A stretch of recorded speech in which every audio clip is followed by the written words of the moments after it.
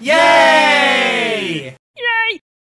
Let's do some basic physics regarding the motion of objects, right? Because that's really what it comes down to, uh, what physics really is, is predicting the motion of objects. So um, we'll start by looking at what's called kinematics, um, which is basically motion with constant acceleration.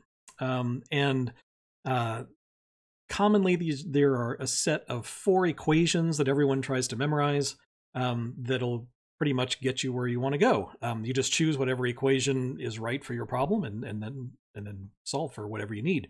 Um, we'll we'll do examples of those as we go along. Um, first, let me show you where these formulas came from. Um, if you've had calculus, that's fine. You can follow this. If you want to just fast forward and use the formulas, you can do that too. I don't care. Uh, okay, so first of all, let's look at the definitions.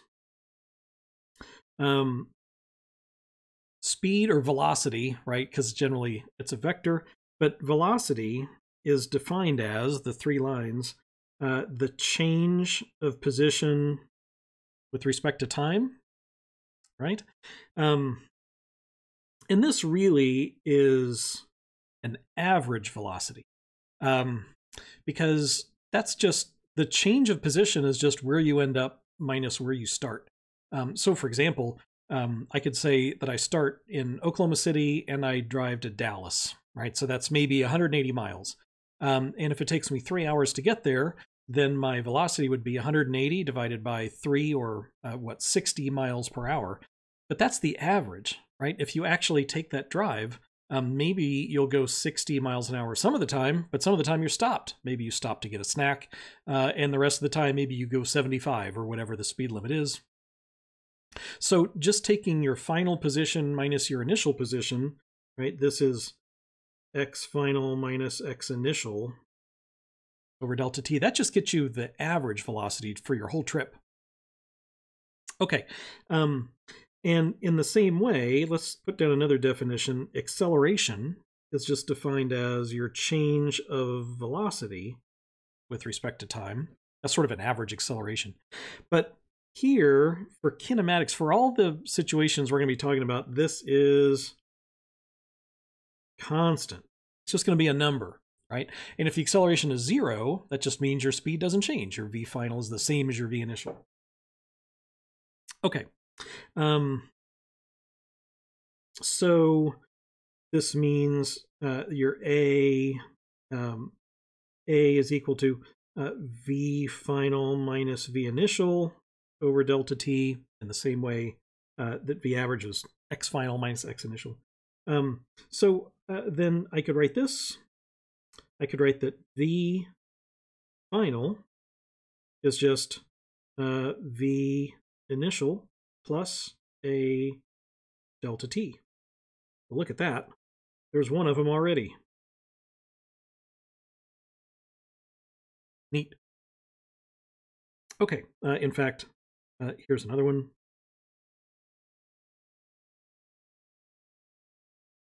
Cool. Um, Oh, well, let's go ahead. Let me let me back that out for a second. Let me go ahead and write this in the way that we wrote this one. So, um, x final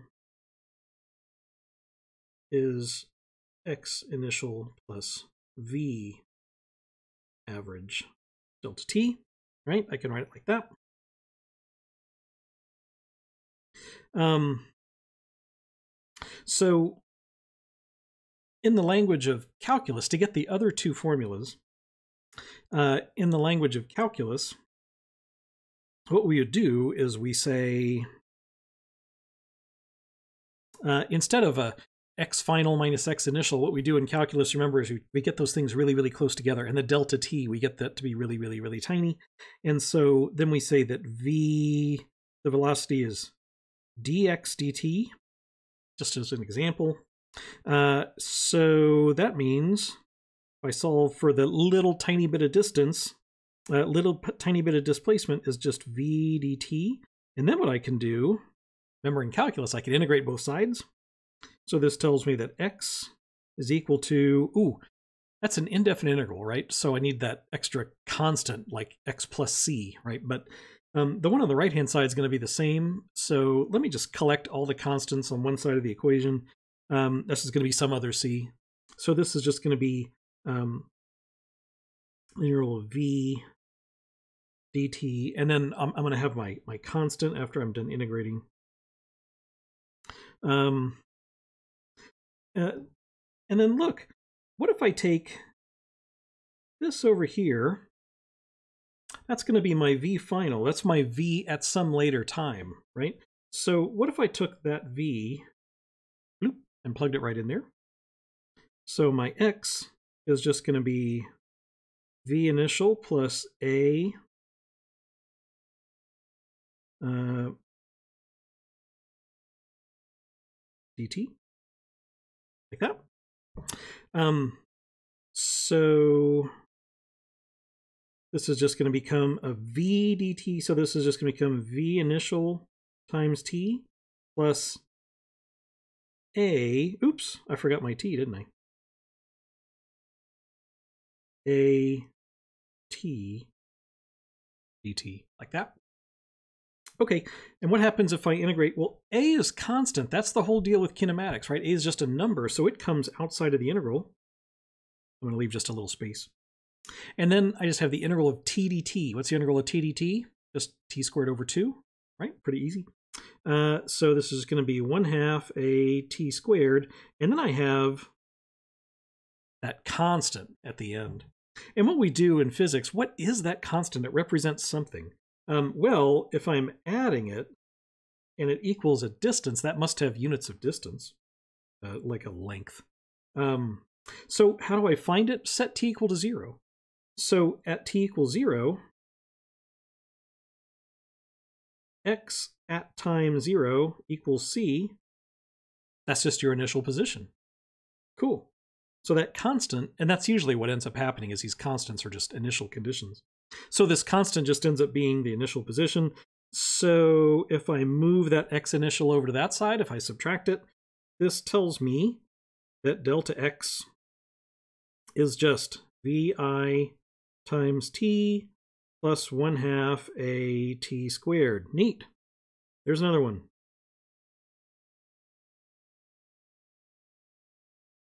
So that's another equation. Um, look, one of these equations involves v, a, and t, right? And then another one involves x, v, and t. And then another one, the one I just did, involves uh, x and a and t. V, v initial is just a number. So far, they've all included t. They've just dropped one of the other variables. Um, what if I don't know time? Uh, I can get the last one. What you do is um, this one tells you that delta x is just equal to a v times delta t, or we've kind of dropped the delta, haven't we? Oops. v times t. Okay, so that means that t is delta x over v.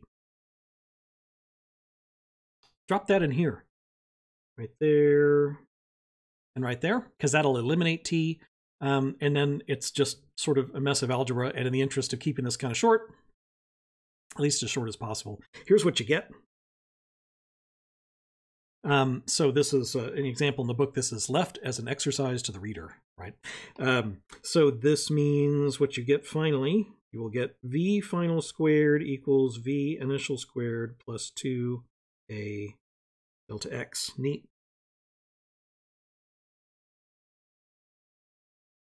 Okay, so we have four equations. These are our four basic kinematic equations with which we're going to solve uh, a whole bunch of problems. Okay, so let me go to another page and let me write down uh, kind of a sample sample problem. Um, okay, let's write them down. Uh, I have delta x is equal to v average uh, I'm gonna I'm gonna just to make it easier to write. Let's drop that delta because we know that that's usually we start at time zero, right? So I can just write. Let me just write t. That'll make it look a little easier. Um, my change in v, which I'll write like this. uh, v final is equal to v initial plus at. I can do that. Uh, I'm going to have my displacement is vi, oops, keep saying I'm going to drop delta t and then I forget. vi times t plus 1 half at squared. Cool.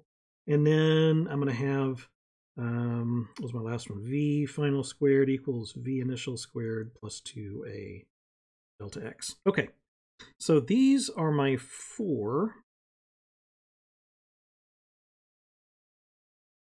And let's suppose we have the following thing.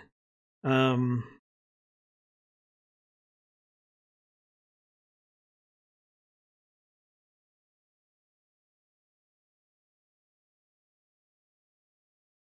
here's Alice.